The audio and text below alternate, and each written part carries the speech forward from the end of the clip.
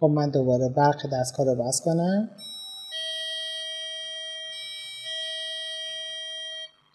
توی این ویدیو می‌خوام براتون بگم که این زنگ دینگ دانگ من چجوری درست کردم؟ بریم با هم ادامه ویدیو ببینیم. سلام دوستان وقتتون بخیر.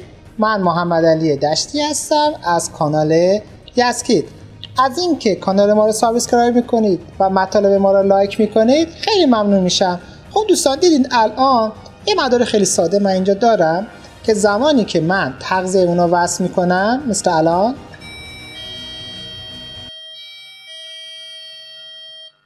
دو تا دینگ دانگ برای من زد و قطع کرد. حالا من اینو چجوری درست کردم؟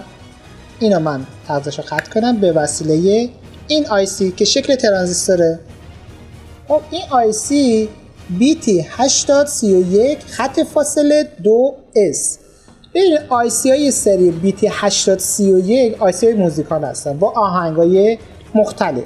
حالا من میاد تو ادامه بیشتر بهتون میگم که هر آیسی می‌تونه یه ملودی متفاوت رو برای شما تولید کنه. این ملودی ها چیه؟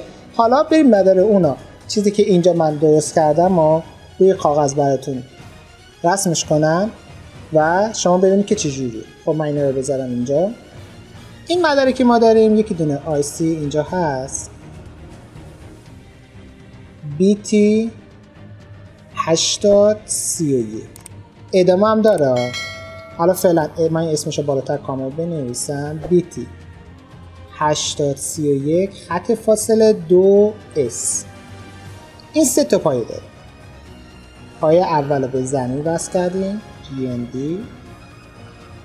پایه دوم به VSCC که این VSCC شما میشه تغذیه مثبتش شما. تغذیه مثبتش هم بین دو تا 5 ولت یکی از پایه ملودی داره آوتپوت این آوتپوت همون سیگنال موزیکال ماه. برای اینکه بتونم اینو تقویت کنم اومدم از یه ترانزیستور دیگه استفاده کردم.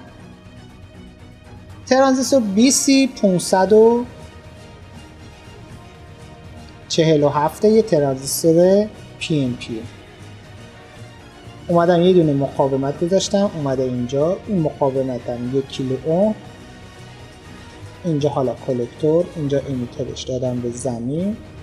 بعد اینجا یه دونه بلنگو یا اسپیکر وصل کردم و اون طرفش هم دادم به VSCC این ساده ترین مداری بود که اینجا من برای شما آوردم. اگر 547 تا خواسته باشم شکل نمای ترانزیستورش رو بکشم این نوشته BC 547 سه تا پایه داره کلکتور بیس و امیتر.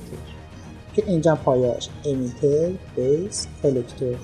و زمانی که شما تغذیه این VSCC رو وصل کنید این شروع می‌کنه به ملودی خوندن که اینجا دینگ دانگه این نکته خیلی کوچیک بهتون بگم. ببینید دوستان بیت 831 که شماره آیسی هست. پسفند اون الان اینجا دو اسه اگر که اس باشه یعنی که یک بار زمانی که شما تغذیه وصل کردید ملودی ها یک بار می‌خونه و بعد از اون دیگه قطع می چیزی که ابتدای ویدیو دیدیم اگر که به جای S، L باشه. L یعنی loop یعنی زمانی که اون آهنگ خوند دوباره مجدد شروع می‌کنه اونا تکرار کردن توی یک loop میفته حالا این کلا انتهای اون هرچی باشه میاد آهنگ های مختلف رو می‌زنه شما تو سایت های فارسی بزنی BT 8031 حالا ملودی که برای تولد هست happy birthday هست ملودی ای ایران هست این ملودی هست که آهنگ عربی آذری ترکی هندی. اگر که بیتی 831 26 الا بگیریم این یه ملودی آذریه. و این علم یعنی لوپ مدام اون زمانی که تغذیه دستگاهتون وصل میشه داره هی می‌خونه هی می‌خونه تا تغذیه رو قطع کنه. اگر مثلا 28 این آذری اگر 28 باشه 28 L این ترکیه. 29 L باشه هندیه. ملودی آژیر خواسته باشه صدای آژیر بده 69 این هم L پس L میشه loop S میشه یک بار stop میشه. مثلا 16 L این 16 L میشه ملودی ای ایران. ملودی مختلفی داره می‌تونید اینا رو بخرید و خلاص توی مدارتون از اون استفاده کنید. برید بسازین و لذت ببرید. subscribe یاد نره like کن و نظر خوشگلتو برای من بنویس. دوستانی که سوالم داره تو همون کامنت ها بنویسن. من تا جایی که بلد باشم بهشون جواب میدم. زنده باشین.